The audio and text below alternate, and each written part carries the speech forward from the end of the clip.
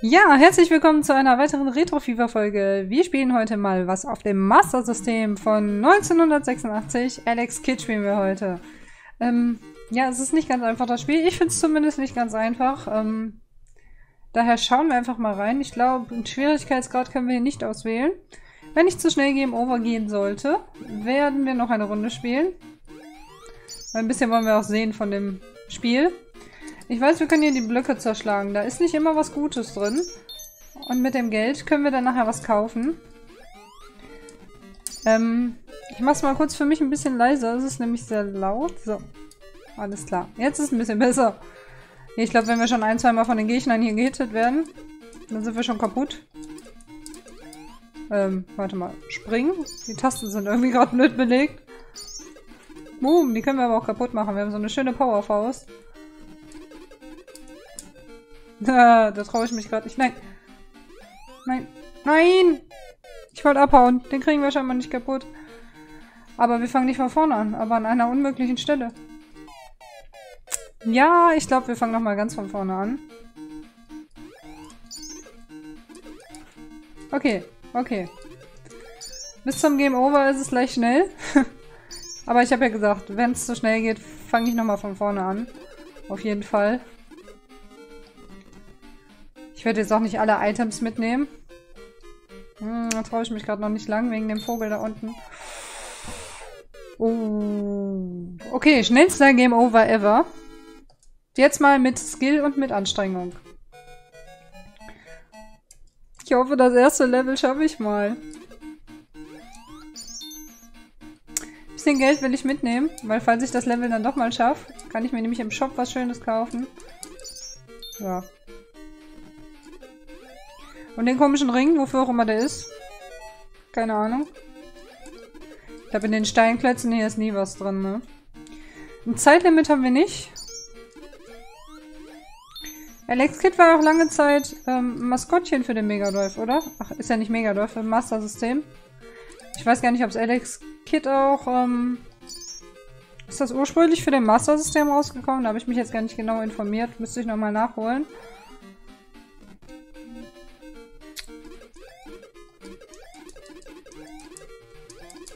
Das funktioniert aber auch nicht. Er schlägt einmal drüber und einmal drunter. Dann müssen wir doch den blöden Weg hier gehen. Dim, dim, dim, dim,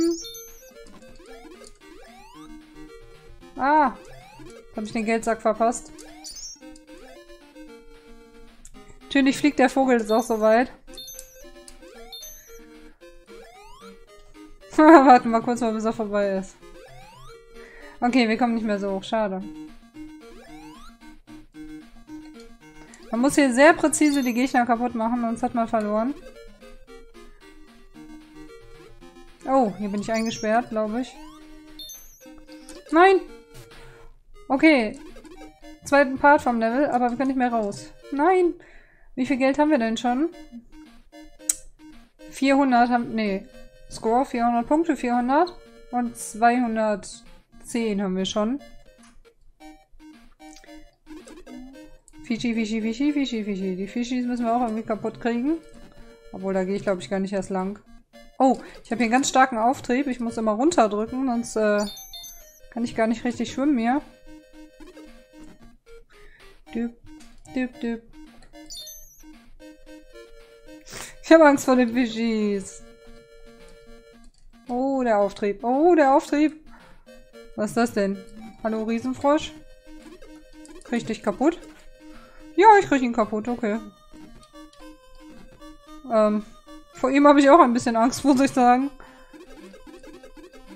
Okay, geschafft. Da ist der Ausgang. Ihr was? Egal, was hier noch so ist. Wir gehen zum Ausgang. Damit habe ich nämlich ein Level geschafft. Yay! Und wir können in den Shop. Jetzt werde ich wahrscheinlich nicht genug Geld haben. Wir brauchen 200 fürs Motorrad. Und ich würde sagen, das gönnen wir uns mal. Jetzt haben wir nur noch 60, mehr können wir uns eh nicht leisten. Ähm, ich muss mal kurz gucken, wie das geht. Okay, ich kann springen und fahren.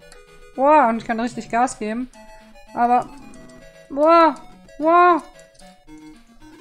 Okay, es ist nicht steuerbar. Muss ich ohne Motorrad versuchen.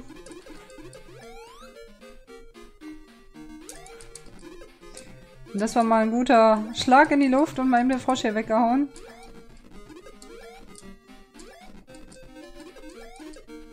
Hallo? Aber wäre schön, wenn ich das Level hier jetzt noch schaffen würde. Oh oh. Jetzt habe ich Mist gemacht. Jetzt habe ich echt Mist gemacht.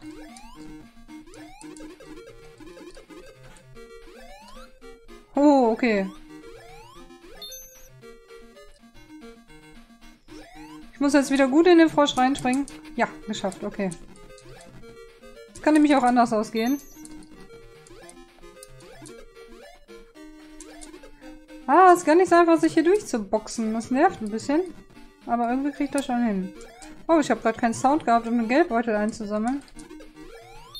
Skorpione.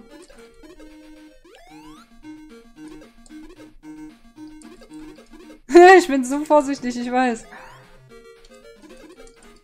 Aber wenn ich da wieder reinspringe, haben wir wieder ein Leben verloren. Dim, dim, dim.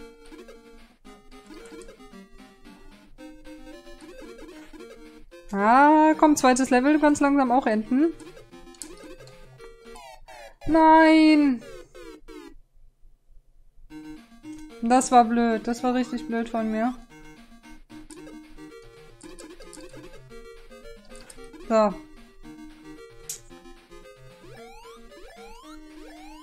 Ich habe Angst, dass ich zu weit springe. So wie jetzt.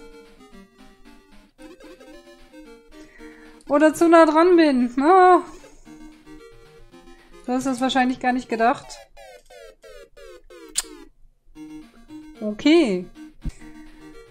Ach ja. Oh, ich habe mir gerade die Maus ins Bild gezogen, glaube ich.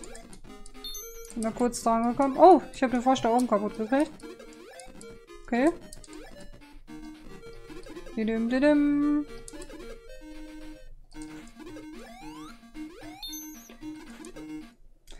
Wie viel Versuche? Oh, wir haben nur noch ein Leben. Ah, wie viel habe ich denn schon aufgenommen? Noch nicht viel. Nein. Ich dachte, ich komme ein kleines bisschen weiter.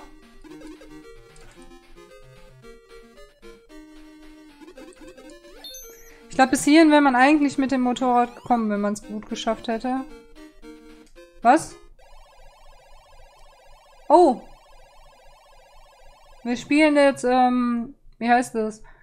Stein, Schere, Papier. Heißt es so? Ich glaube schon. Ich weiß ehrlich gesagt gar nicht so genau, wie das funktioniert. Wir probieren das einfach mal aus. Äh, was nehmen wir denn? Papier? Oder... Komm, nehmen wir mal Stein. Ja, eine Runde zumindest schon mal gewonnen. So. Was nehmen wir jetzt? Faust. Also Stein.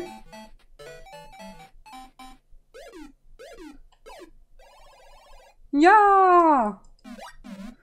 Ich glaube, man muss immer das nehmen. Der nimmt immer das, was er schlagen würde, was man gerade angezeigt hat. Also ich weiß nicht, ob die Logik so funktioniert. Aber es hat geklappt. Okay. Mal gucken, was wir hier haben. Oh! Haben wir ein Leben bekommen? Wir haben ein Leben bekommen. Juhu. Gut, dann geht die Folge vielleicht auch noch ein bisschen länger. Er hofft nicht zu viel. Versuche ich einfach nur schnell durchzukommen. Okay, Terror-Seepferde. Seepferdchen. Ich hau einfach schnell ab. Da muss doch was Tolles drin sein. Das ist doch so versteckt hier. Okay, nur Geld. Oh, das ist aber knapp hier. Aber wir quetschen uns mal da durch und gucken auch mal, was hier oben drin ist. Ja.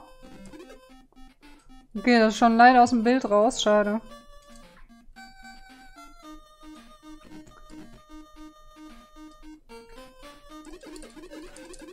Da ist das Ende, da ist das Ende. Ja!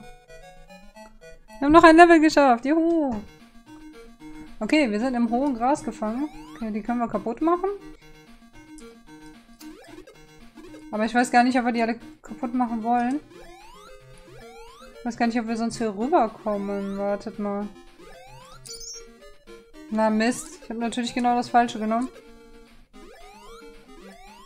Ich komme gar nicht mehr hier hoch. Doch jetzt. komme ich denn da rüber?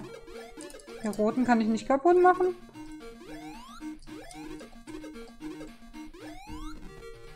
Okay, hier komme ich jetzt hoch. Aber da komme ich nicht hoch. Was ist denn das?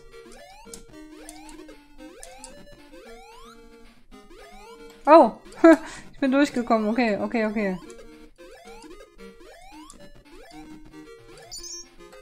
Komme ich da hin? Jetzt komme ich ja hier nicht mehr hoch. Oh, das Level ist sehr verwirrend für mich. Das ist wirklich sehr verwirrend. Ich glaube, hier kann man gut gefangen sein nachher. Vor allen Dingen ist das verdammt schwer zu steuern.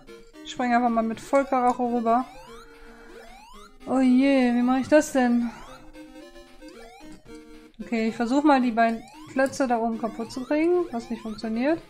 Das Spiel will natürlich, dass wir Richtung Totenkopf laufen. Angst, wenn ich hier zu weit springe, lande ich in der Lava. Das ist aber auch, die Sprungmechanik ist nicht so schön. Genau das habe ich befürchtet. Sorry, Leute. Oh, das ist nicht so einfach. Aber jetzt starten wir hier oben. Aber guck mal, wir kommen hier nicht hoch. Das ist zu hoch.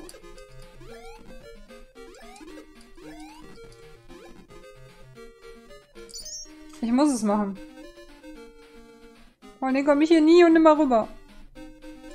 Also hier werde ich nicht rüberkommen, weil guck mal. Das, das passt nicht. Ich muss da oben lang. Aber da habe ich auch keine Chance lang zu kommen. Kann ich hier unten lang? Nee, das bringt mir auch gar nichts. Nach oben schlagen kann ich ja auch nicht. Boah, Leute. Wie funktioniert das hier? Den Stern da oben kriege ich ja auch nicht kaputt, ne? So hoch springt er nicht. Ich probiere es noch ein bisschen aus. Doch, den kriege ich kaputt. Okay. Aber jetzt geht's wieder nicht weiter. Nein. Ach, das ist mir zu sehr eine Fummelarbeit hier. Das ist einfach ärgerlich, dass er nicht nach oben schlägt. Dass die Sprungmechanik hier so ungenau ist. Okay, hier komme ich vielleicht durch. Wartet. Ich probiere es noch ein bisschen. Aber es soll nicht so sein, Leute. Ich glaube, hier wird mein Ende sein. Ja, hier wird mein Ende sein. Mist. ja, leider Game Over. Das ist nicht so ganz mein Spiel gewesen, aber ich äh, find's schön. Also Alex Kidd, die Figur mag ich, ich mag die Musik. Ich schaue es mir auch immer gerne an, wenn es jemand spielt, aber es ist doch ein Ticken zu schwer für mich. War trotzdem schön, das mal angezockt zu haben. Und ähm, ja, auch wenn ihr nur zwei Level, einen Boss und dann noch ein Stück von dem Level gesehen habt, hoffe ich, die Folge hat euch trotzdem gefallen. Und wir sehen uns dann einfach zur nächsten Retro-Fever-Folge wieder. Master-System spielen musste jetzt auch mal sein, habe ich ja noch nie gespielt. Gut, dann verabschiede ich mich und sage bis zum nächsten Mal. Tschüssi!